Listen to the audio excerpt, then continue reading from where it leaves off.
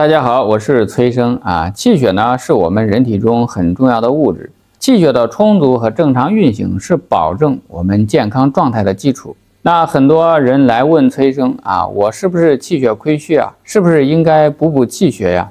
总感觉我这段时间状态不太好。那首先呀，来做个测试，看看气血不足表现你中了几个。第一呢，气色差，面色萎黄或者苍白啊，皮肤光泽度差。第二，人总是觉得很累，说话声音小，做事情呢总是提不起精神。第三，手脚凉，怕冷，一到冬天就暖不热被窝。第四呢，睡眠质量差，夜里失眠啊，入睡困难，睡着了还总是做梦。第五，头发干枯毛糙，脱发早白啊，年纪轻轻就要研究生发。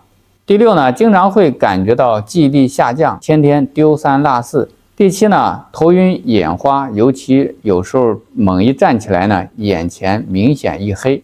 第八，女性朋友月经量少，颜色淡，时间推后。第九，舌头颜色淡白，或者是边缘有花边，也就是齿痕舌。第十，经常感觉心慌、胸闷、气短，稍微动一下就喘。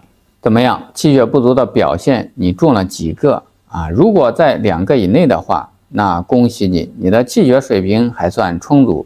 那如果你占了四个以上，那你的气血不足就比较严重了。那下面崔生啊就教你如何正确调理气血不足，主要跟这几个原因有关。第一个呢就是脾胃虚弱啊，经常关注崔生的人对脾胃肯定是不陌生了。脾胃是后天之本，气血生化之源啊。如果脾胃虚弱了，运化水谷的功能就弱啊，气血生成就不足。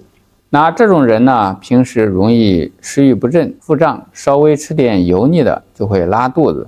那这时候呢，就可以参考一个健脾丸来健脾益气，保证生成充足。我们能够从上面提到的症状可以看出来，气血亏虚的症状很多呢跟心有关。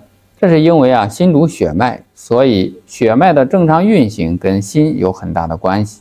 那如果气血不足的人出现心慌失眠啊，那这种人一般属于心脾两虚，这时候呢就需要补益心脾了啊。我们可以参考一个归脾丸，心脾同补。那有的人说了啊，我就是这段时间呀太辛苦了，或者是生病了，气血消耗太过了，别的地方还算正常，那我们就可以单纯的补气血啊。这时候可以参考一个八珍颗粒。